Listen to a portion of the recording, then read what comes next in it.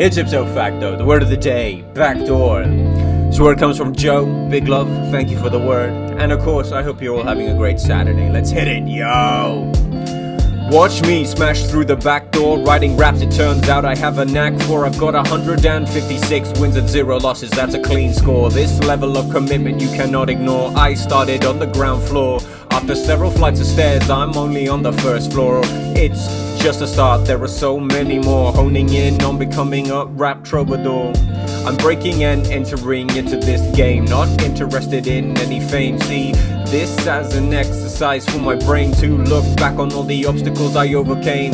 How good can I get in a set time frame? If I quit, I would only have myself to blame.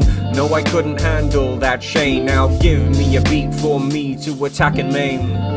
I'm the rapper no one saw coming. I had no idea I could keep this going, especially during these times when we're all struggling. But we're still here, isn't that something? I started from nothing. This challenge I am loving, my passions I am funneling. A better rapper, I feel myself becoming. Yeah, yeah. Watch me smash through the back door, writing raps. It turns out I have a knack for. I've got 156 wins and zero losses. That's a clean score. This level of commitment you cannot ignore. I started on the ground floor after several flights of stairs. I'm only on the first floor. It's just the start, there are so many more. Honing in on becoming a rap troubadour. Yeah.